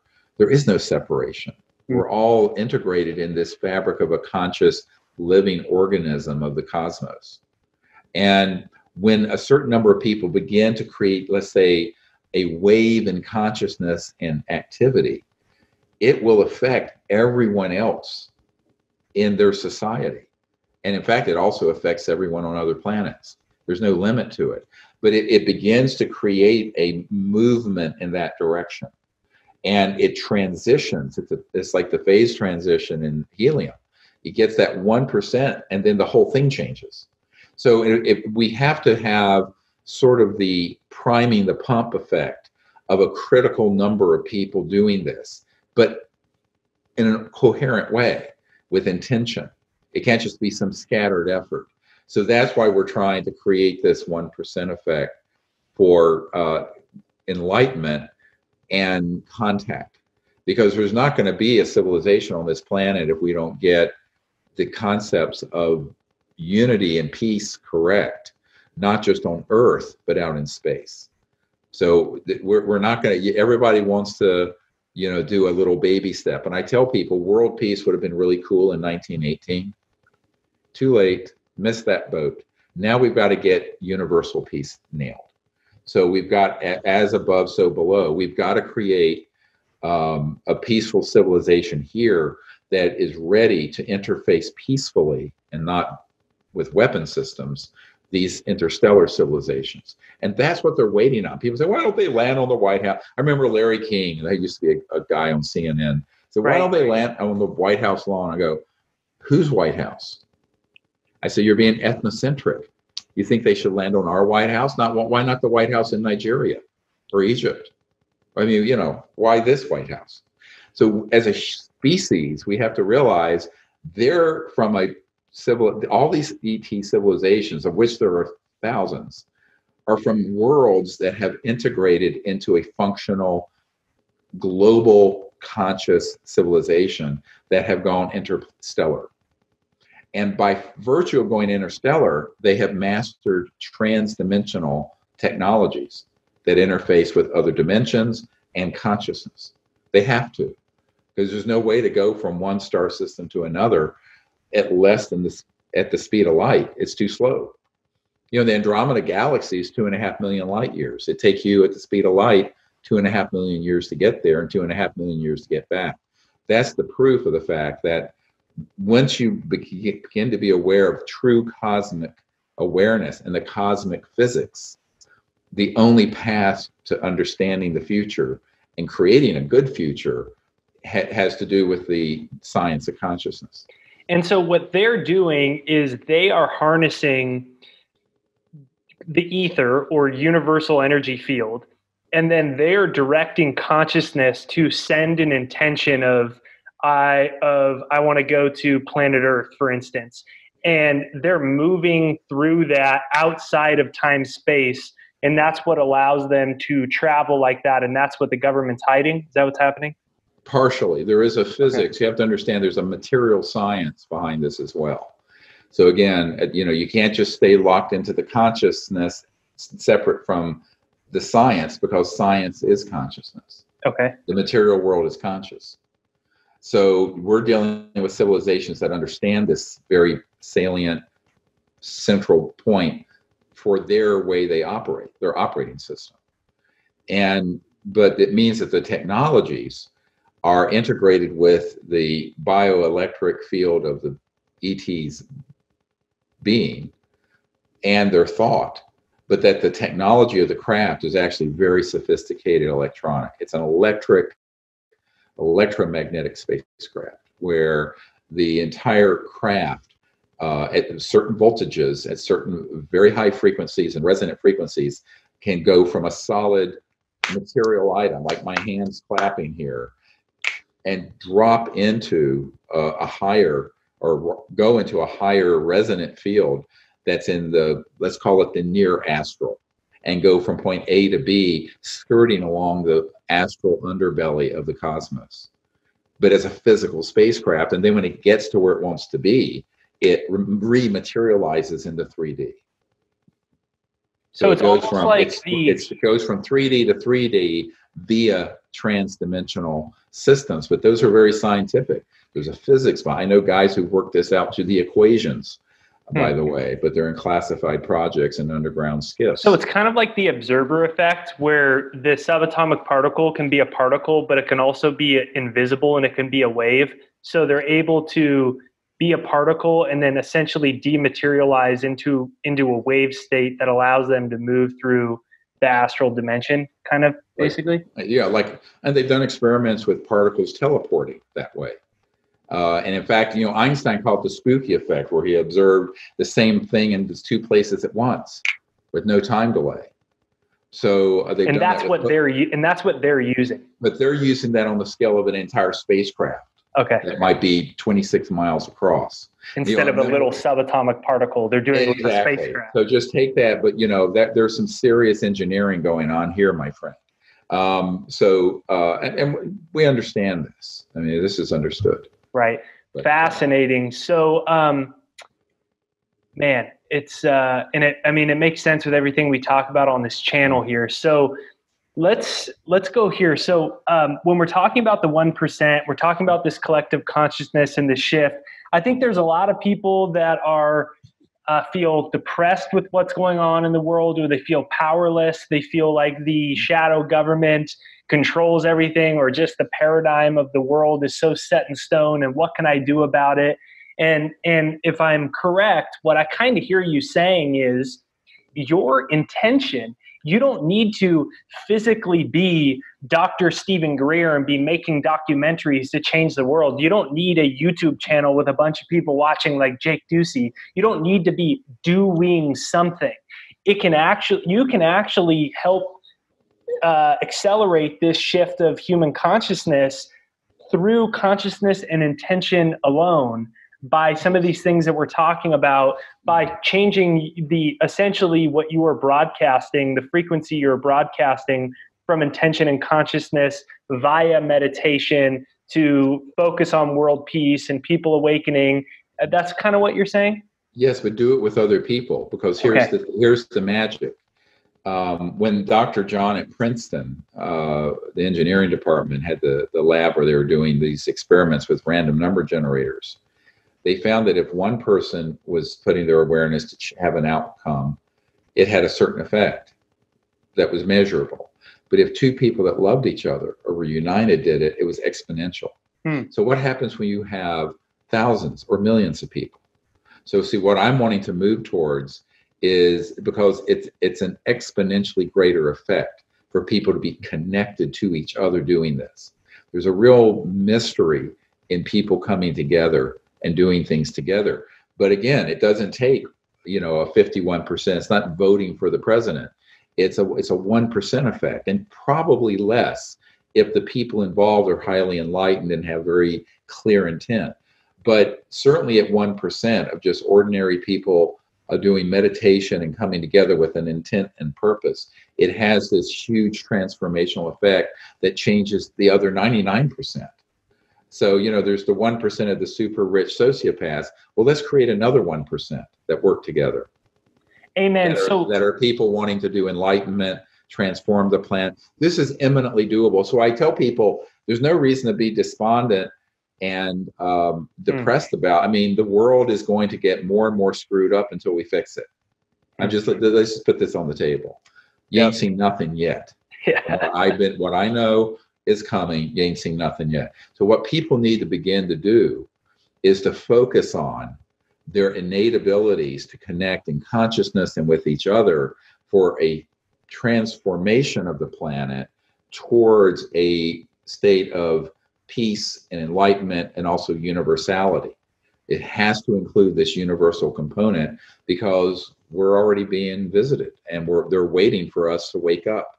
So people can do this. It's not difficult to do. People find, you know, it's interesting because on my Twitter feed, I, I, get things all the time, and on our our website, SiriusDisclosure.com, we get these people write in. Like we had this truck driver in Croatia. He got this app, who was, uh, you know, the CE5 contact app is what you put in CE5 contact, and he was stopped on the, in the mountains of Croatia just doing the meditation, but also doing the what we call coherent thought sequencing, which is when you image and see the the ETs and invite them and vector them into where you were. So he was showing him where he was in this truck by visually in consciousness where he hmm. was. And suddenly this ET craft materializes right to the left of the truck and floats over the cab and then goes to the other side and he gets this message that we received your we're here with you. And and then it dematerializes. And this is like a truck driver. You know it's not someone who's like you know dropping ayahuasca and with lavender wands and crystals and laying around in an ashram. I mean he's like a freaking truck driver. So i tell people you know everyone can do this. It's like really simple. It's just you have to know you can do it. And you know you don't need all the accoutrement and all the trips and all that you know just do just be real And it's it, it's really for me the most gratifying thing of what's happening right now is seeing just thousands and thousands of ordinary people doing this, and they go, "Oh my God, I did this!" And I went outside, and this ship appeared, and it signaled to me, and then I had contact with this being because I knew this would happen, frankly, because when I first had this happen in 1973, I was told there will be a time when enough people will understand consciousness hmm. that we can make open contact with humanity, bypassing the government, bypassing, and that's that's our it's our time to do it. This is our time. So I talk all about as it pertains to imaging and and since energy is never created or destroyed it already exists in a higher plane so you're just materializing it here in third dimension and it's a similar process in conclusion here as we're coming to an end truly appreciate your time. So you're saying the connection process and what someone can do at home. Step number one download the ce app. If you haven't seen dr greer's other movies watch them with your friends. Watch them with other people so you can do this together. Unacknowledged been viewed 600 million times and then conscious uh, ce5 is the most recent one that came out in april. That one has to do more with consciousness and the process of contact. So what you're saying is in a similar process that my audience is aware of you are essentially imagining you're you're imagining that you're already in contact with them and because consciousness travels instantaneously that's signaling and then you're vectoring like starting at planet earth dropping all the way down to your city going from the map all the way down and in the consciousness as if it's already taking place and that's what accesses the contact and what someone at home that's saying i want to do a thought experiment to try this that's what they would be doing yes and the ets are scanning all frequencies for that Hmm. Remember, they have technologies that can scan when you're sending something out through thought. Huh. Like we can scan a laser, they can scan a beam of thought. And they can pick up the frequency being signaled. Correct. That's fascinating. I had never heard you say that part. So, yeah. You watching this, you can go watch this interview. If you found this interesting, watch it with a couple people. And then end as i always say about on this on my channel i say don't believe everything i'm saying. Just sus- i always say suspend your disbelief. Suspend your disbelief and do a thought experiment. And that's what i always talk about on my channel now. Let's do one now. And and you can go and you can do it with your friends um, with your husband with your wife with your children who are probably have a lot less conditioning than you they might end up being the one that does it properly and so in conclusion, um, can you just give us a little summary of how you would go about it? Just a normal meditation as if you're visualizing. Um, if you wouldn't mind elaborating or doing a little quick couple second walkthrough, and I know you got to get going. Yeah.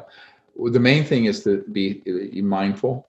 I, I tell people you can, you know, sit and close your eyes and you can do a, meditation with the breathe, the breathing.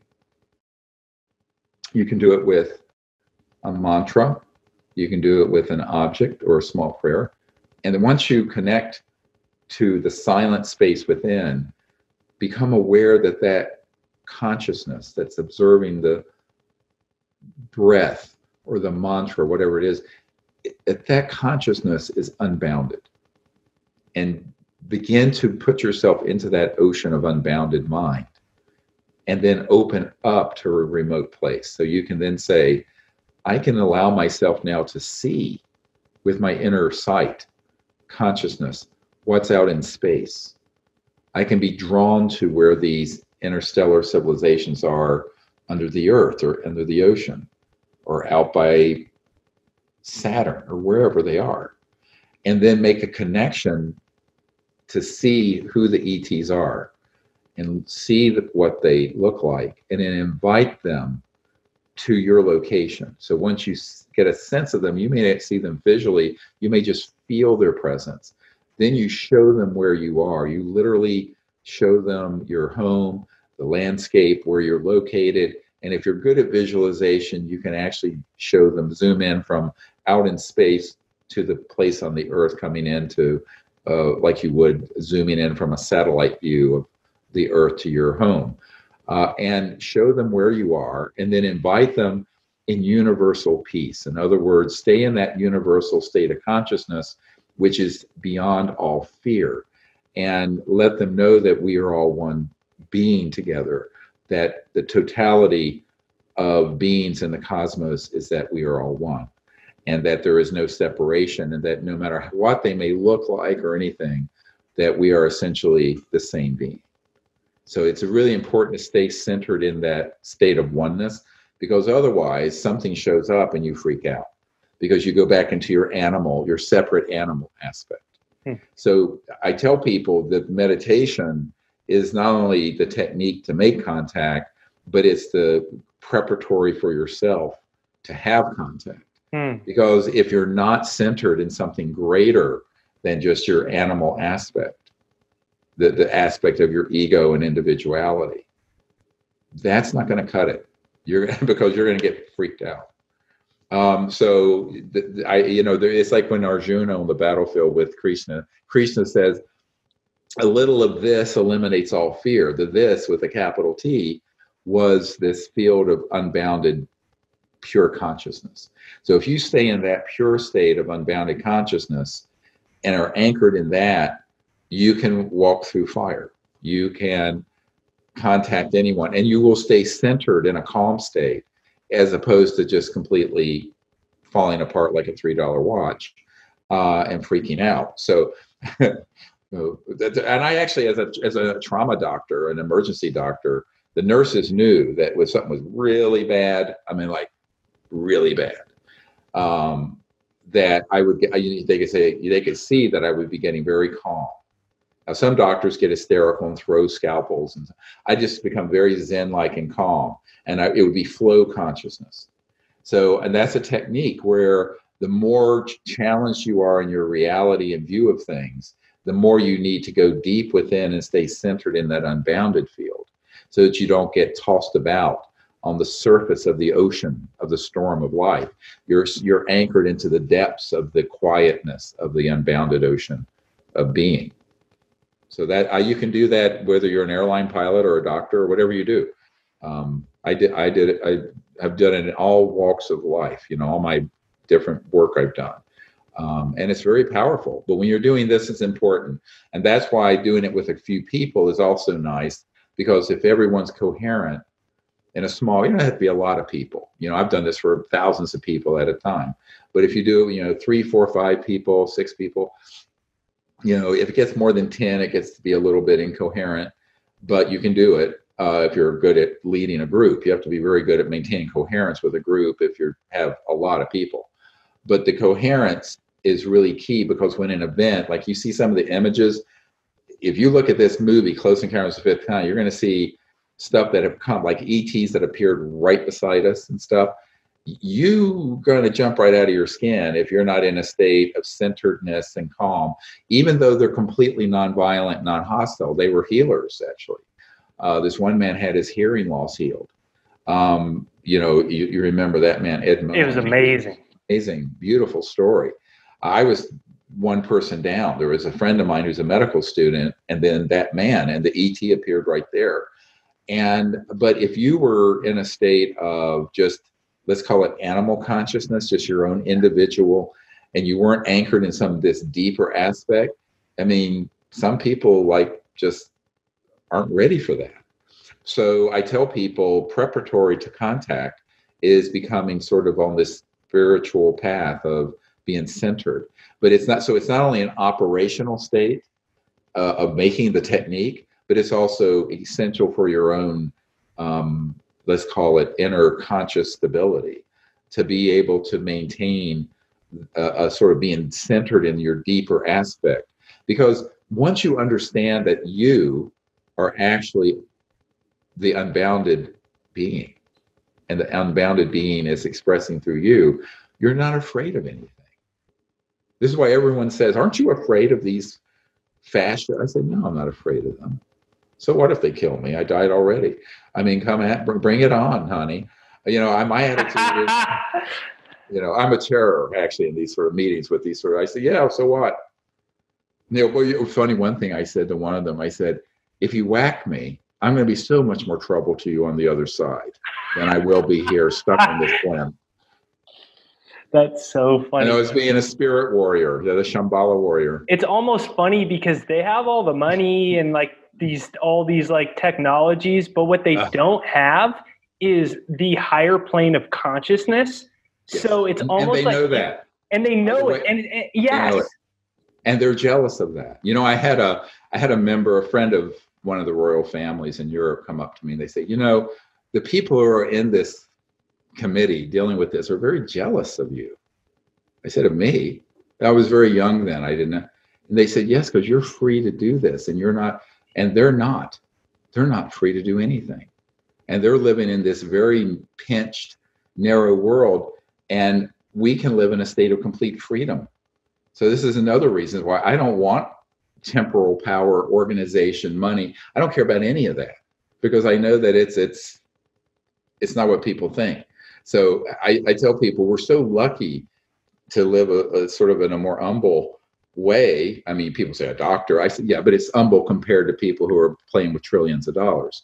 Um, but it, you know, you just sort of you're better off keeping it simple and pure. And it's the purity of the heart and the purity of the intent that the ETs pick up on. And you can't fake that. And these guys know that.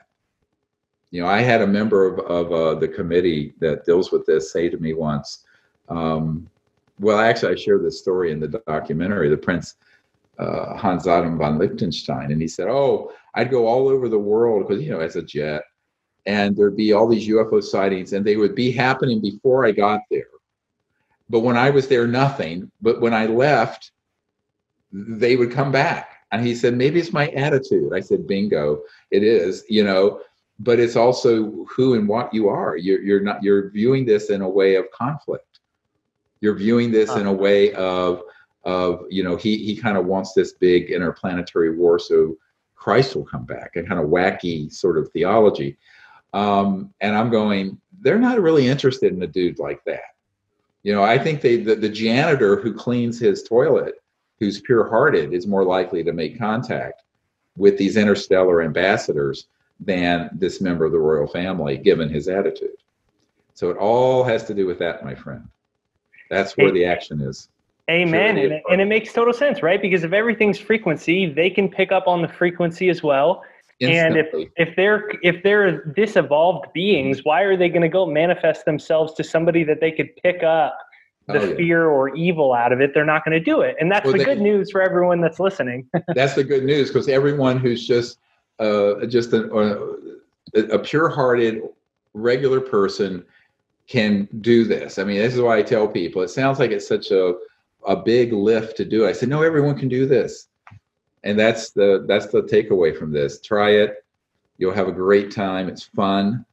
It's fun to do it, and it's very enlightening to do it. And the more of us that do this together, the more that it creates this morphogenic field shift for the planet, where we move out of this era of chaos and destruction into the civilization that we know is has to be established here.